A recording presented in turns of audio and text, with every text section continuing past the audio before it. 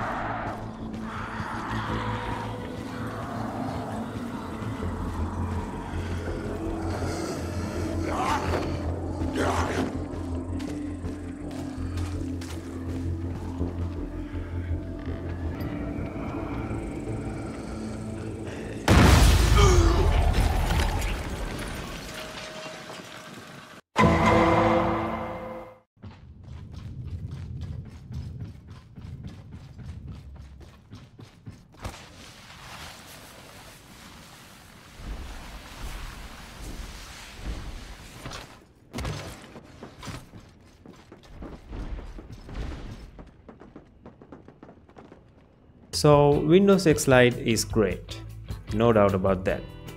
But honestly, the 25H2 version feels really slow.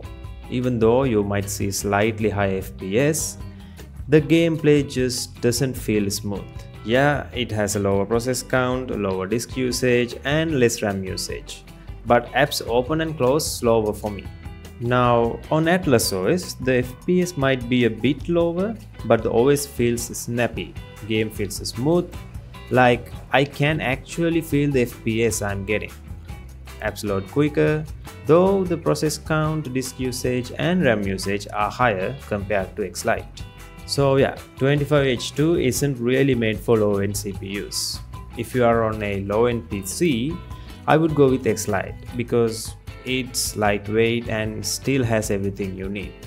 Personally, I prefer Atlas OS, it just feels faster. But if your main focus is gaming, X Lite might be the better choice. But honestly, are you really going to notice the difference between 57 FPS and 58 FPS? Sometimes it's just margin of error. So both OSs are good. It just depends on what you want. So that's it for this one. Until next time, adios amigos.